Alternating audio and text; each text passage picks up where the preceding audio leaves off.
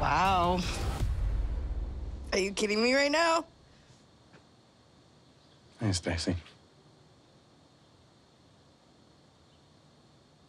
I've decided, foolishly or not, to go to Connecticut to deliver the letter that I wrote to Darcey.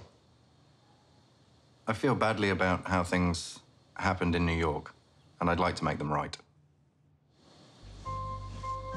Dars? Who is it? Random. Oh. Unbelievable.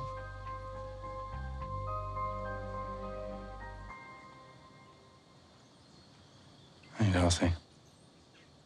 Why are you here? I wanted to come and apologize for the way things ended yesterday. That's not what I wanted it to be like.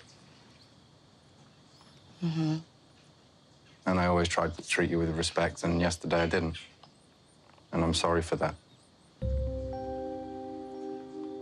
I am shocked that Tom showed up. I completely blocked him out of my life. I don't want to see him. I don't need any fake apology. Nope.